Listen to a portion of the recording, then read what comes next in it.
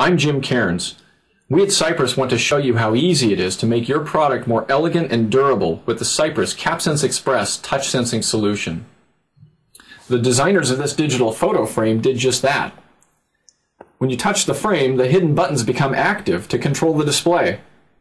No mechanical parts to wear out. But CapSense Express isn't just for consumer electronics. Chances are you're developing a product that would benefit from replacing a mechanical button, switch, slider, or dial. Jon, our demo man, is going to show you how easy it is to configure and optimize your CapSense Express device specifically for your product. Jon? Let me show you how easy it is to configure CapSense Express for your application. Using PSoC Designer, within the Inputs catalog, there's a folder for CapSense Express which contains all of the CapSense Express devices in the portfolio.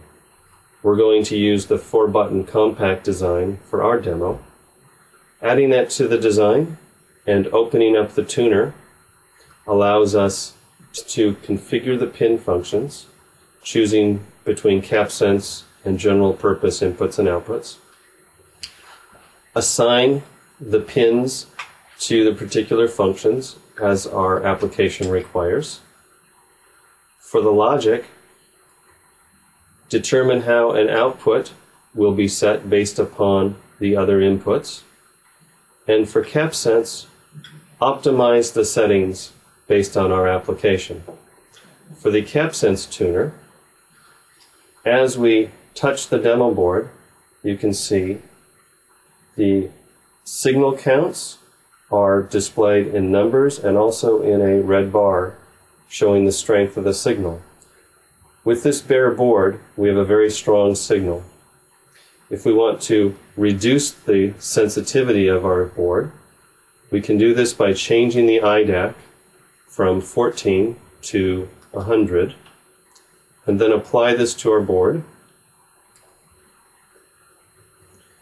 And now as I touch the, the board, you can see the signal is not as strong because we've reduced the sensitivity. It's not strong enough to actually detect the finger. Finger detection is controlled by the finger threshold. If we reduce finger threshold now to 60 and apply that to our board,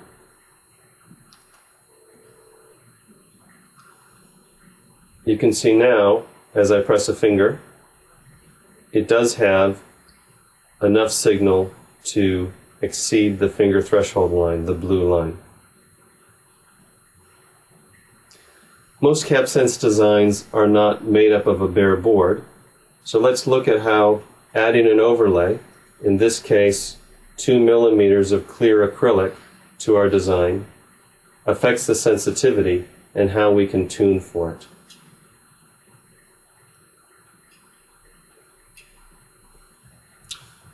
So if I go back to the other CapSense input with the original settings, you can see as I touch it, some signal is detected, but not enough to even make the red bar move. We can make this design more sensitive now by reducing the iDAC setting. I'm going to choose 3 and applying that to our board. Now, as I touch the button, you can see there's enough signal now to move the red bar. And it's difficult to get it to exceed the finger threshold. So I'm going to also reduce the finger threshold to match the signal. Apply that to the board. And now as I press the finger with the 2 millimeters of overlay, you can see I'm detecting with the increased sensitivity of iDAC.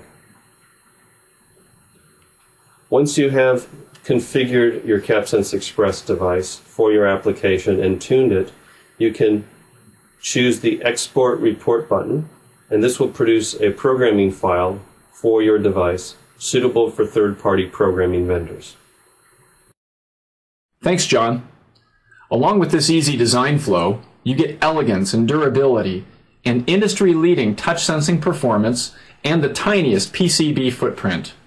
The Cypress CapSense portfolio runs from simple CapSense Express solutions, as we've just shown you, all the way up to highly integrated PSoC programmable systems on chip that include CapSense touch and proximity sensing.